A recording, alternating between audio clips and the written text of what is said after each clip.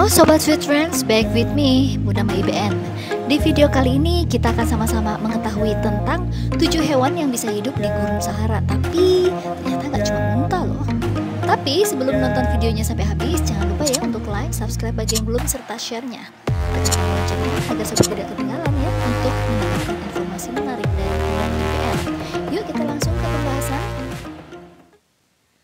Sobat, di kehidupan di Gunung Sahara pasti sulit ya.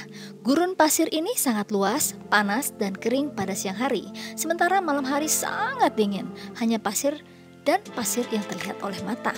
Di tempat yang ekstrim ini, tujuh hewan ini ternyata dapat beradaptasi. Apa saja ya hewan-hewan yang tangguh tersebut? Ini dia tujuh di antaranya.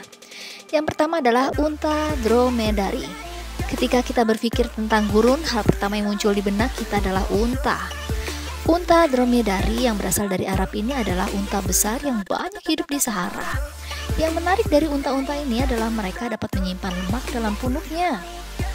Mereka juga dapat minum hingga 100 liter air dalam waktu 10 menit. Unta ini sangat cocok di Sahara karena mereka memiliki kekuatan, daya tahan, dan dapat hidup tanpa air, serta makanan dalam waktu yang cukup lama. Yang kedua adalah viper bertanduk. Hewan ini dapat tumbuh hingga 50 cm. Mereka berburu pada malam hari dan biasanya mengubur diri di pasir pada siang hari. Racunnya sangat berbisa karena dapat merusak jaringan sel darah merah dan bersifat hemotoksis. Hewan ini sekarang merupakan spesies yang terancam punah karena faktor lingkungan. Tidak ada yang benar-benar tahu mengapa mereka memiliki tanduk di atas mata mereka. Ada yang mengatakan bahwa tanduk tersebut untuk perlindungan bagi matanya terhadap pasir, kamuflase, atau navigasi melalui pasir. Yang ketiga adalah burung unta. Jenis burung satu ini terkenal karena tidak dapat terbang, tetapi burung unta ketidakmampuannya untuk terbang menjadikannya salah satu hewan darat tercepat. Seekor burung unta dapat berlari dengan kecepatan rata-rata 40 mil per jam. Burung unta adalah burung terbesar di dunia.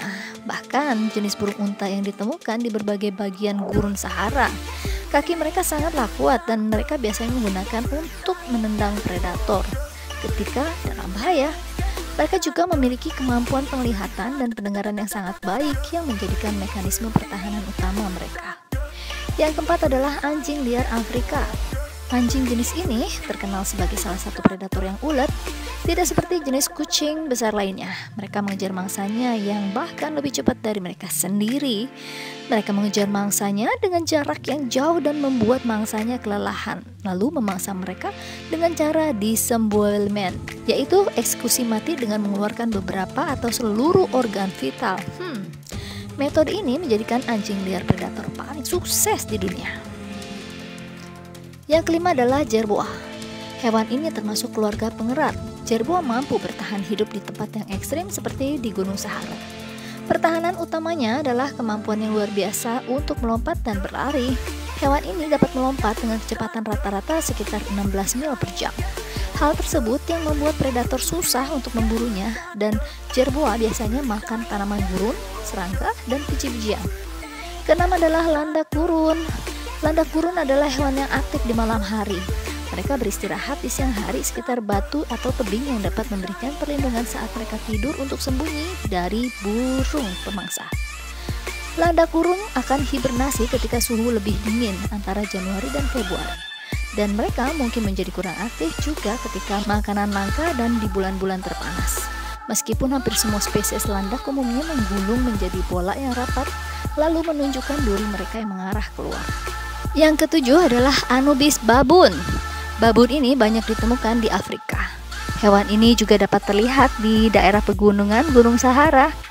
Warna bulu babun ini tampak hijau keabu-abuan dari kejauhan. Tetapi jika diamati lebih dekat, bisa dilihat bahwa hewan ini mempunyai bulu berwarna-warni. Jantan lebih besar dari betina, dengan surah yang lebih besar juga, maka hewan ini dapat beradaptasi dengan baik karena makanannya yang beragam, termasuk tanaman burung dan bahkan mamalia kecil. Melihat gurun Sahara dan iklimnya yang ekstrim, sulit ya membayangkan bagaimana hewan-hewan ini dapat tinggal di sana. Tapi entah bagaimana, seiringnya waktu, mereka itu telah berevolusi dan beradaptasi dengan tempat yang sangat panas ini. Setiap hari menjadi perlombaan untuk mendapatkan air, makanan, dan kelangsungan hidup yang berharga. Sobat, demikian ya pembahasan dari Bu Mai kali ini. Semoga informasi ini dapat bermanfaat dalam mengisi waktu luang sobat. Bagi teman-teman, jangan lupa untuk like, subscribe bagi yang belum serta share-nya. Pantengin terus ya channel ini karena masih banyak konten menarik lainnya. Terima kasih sudah nonton videonya sampai habis dan sampai ketemu lagi di video selanjutnya. Bye-bye.